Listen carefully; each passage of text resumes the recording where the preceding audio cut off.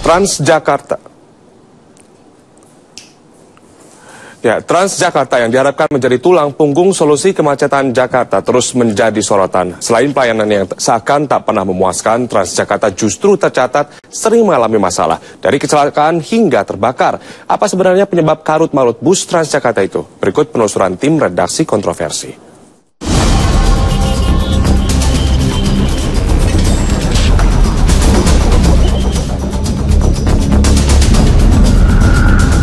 Bus Transjakarta terbakar. Armada angkutan massal yang sedianya digadang sebagai solusi utama kemacetan di ibu kota dari rangkaian kasus terbakarnya bus Transjakarta, sebagian besar dipicu adanya korsleting listrik pada bagian mesinnya. Tim redaksi kontroversi mencatat, sepanjang 2012 saja sedikitnya ada lima kasus bus Transjakarta yang terbakar saat beroperasi mengangkut para penumpang. Dan dari rangkaian kasus bus Transjakarta yang terbakar ini, seluruhnya dipicu korsleting di bagian mesin. Data yang jauh berbeda kami dapatkan dari unit pengelolaan Transjakarta. Sepanjang 2011 hanya terjadi lima kasus kebakaran. Sementara di tahun 2012 ada tiga kasus kebakaran bus yang disebabkan korsleting. Kasus ledakan hebat yang terjadi saat sebuah bus Transjakarta tengah mengisi bahan bakar di stasiun pengisian bahan bakar gas Pinang Ranti. Rangkaian insiden yang terjadi pada bus Transjakarta menambah panjang daftar kesemrawutan pengelolaan angkutan massal ini. Sering ke mempengaruhi kepercayaan masyarakat ibu kota sejak beroperasi tahun 2004 lalu. Nah efeknya itu bukan kemudian rasa nyaman dan aman terganggu saja, tapi juga efek jangka menengahnya atau bahkan jangka panjang itu konsumen akan meninggalkan Transjakarta Insiden yang menimpa bus Transjakarta tentu bukan hanya sekedar kecelakaan yang terjadi secara kebetulan. Insiden ini berujung pada perawatan terhadap armada bus itu sendiri.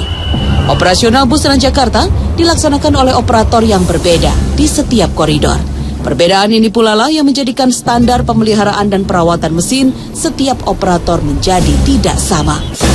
Tim redaksi kontroversi mencoba menelusuri ke salah satu bengkel bus Transjakarta sebagai angkutan yang mendapat perhatian penuh pemerintah daerahnya, kondisi bengkel bus Transjakarta tak ubahnya bengkel pinggiran jalan. Bekas-bekas oli menutupi lantai, peralatan dan perlengkapan tidak tertata dengan rapi. Para montir pun tidak menerapkan standarisasi keamanan.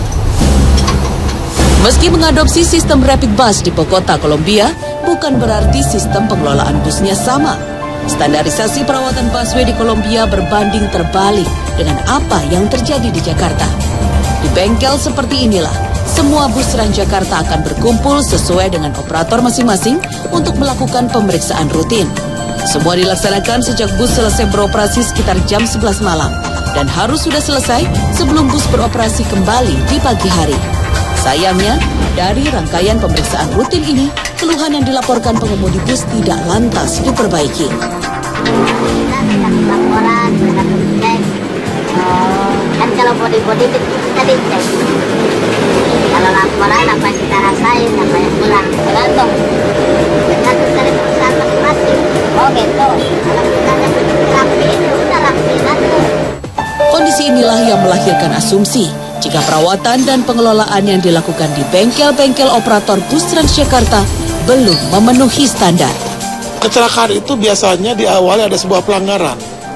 Nah, kalau kecelakaan terbakarnya armada Transjakarta, ini berarti diawali dengan sebuah pelanggaran terhadap apa? Tadi nggak ada kontrol yang betul terhadap apa? Perawatan e, bus-bus Transjakarta. Sehingga apa? Kabelnya sembarangan, segala macam. Nah, padahal itu kan bus-busnya kan itu kan sensitif, ya dengan sistem gas segala macam. Nggak bisa sembarangan perawatan itu harus harus jelas. Pihak operator membantah jika perawatan yang mereka lakukan tidak memenuhi standar. Bus Transjakarta yang beroperasi wajib memenuhi taraf SGO atau siap guna operasi. Kecelakaan yang selama ini terjadi dianggap murni kecelakaan yang bisa menimpa kendaraan apa saja. Pihak operator lebih menyoroti faktor lain yang bisa mengakibatkan kecelakaan, seperti umur bus yang memang belum pernah diganti yang baru, serta regulasi unit pengelolaan yang kerap kali tidak berpihak pada operator.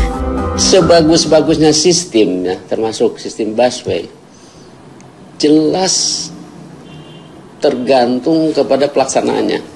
Nah, dalam pelaksanaan jelas selain pengetahuan, disiplin, juga ya kosnya juga harus di, diperhitungkan kalau iya, misalkan uh, bukan kurang perlu penyesuaian. Selain operator, pihak unit pengelolaan Transjakarta yang menjadi pihak pengawas juga patut menjadi sorotan. UP Transjakarta dipandang tidak secara ketat menerapkan regulasi pengawasan terhadap armadanya. Pihak UP selama ini melakukan pengecekan terhadap bus Transjakarta di halte-halte tertentu saja. Pengecekan pun hanya sebatas kondisi AC, rem, ban, serta bagian lainnya. Jika kondisi bus itu tidak sesuai, maka bus itu dinyatakan tidak layak jalan dan akan dipulangkan. Sistem pengawasan kelayakan bus Transjakarta bukan tanpa celah. Pengawasan hanya dilakukan acak, sehingga bisa jadi bus yang seharusnya tidak layak jalan malah lolos dari pengecekan. Sanksi pemulangan terhadap armada yang tak layak tidak dibarengi dengan pengawasan di proses perbaikannya, menjadikan bus Transjakarta yang tidak memenuhi standar masih bisa beroperasi. Padahal sebagai pihak yang mempunyai hak untuk mengawasi dan memberikan sanksi kepada operator, UP Transjakarta diharapkan bisa lebih tegas dan ketat dalam mengawasi perawatan armadanya. Operator Transjakarta itu customer itu bukan penumpang, customer mereka itu adalah Transjakartanya, UP Transjakarta. Karena kenapa? Yang membayar layanan mereka itu adalah pengelola Transjakarta, bukan penumpang. Penumpang itu hanya membayar tiket uh, ke Transjakarta. Sebagai customer ini Transjakarta, pengelola Transjakarta itu harus mulai mengeraskan ininya dia apa namanya uh, pengawasannya dia ke operator. UP Transjakarta menjamin jika perawatan yang dilakukan oleh operator pasti dijalankan secara maksimal. Ini berkorelasi sesuai dengan sistem di mana operator Transjakarta akan dibayar sesuai dengan kilometer yang ditempuh dalam sehari. Kontrak semacam ini sebenarnya perusahaan bis itu akan termotivasi untuk memelihara atau menjaga kondisi bisnya agar layak gitu, agar sehat gitu. Karena kalau kalau mereka merawatnya sembarangan, bisnya tidak berjalan ataupun sampai terbakar, maka mereka tidak mendapatkan pendapatan. Gitu. Operasional bus Transjakarta sebenarnya hingga saat ini belum mempunyai standar pelayanan minimal secara resmi. SPM seharusnya disahkan dalam bentuk peraturan gubernur hingga mempunyai ketetapan hukum yang jelas.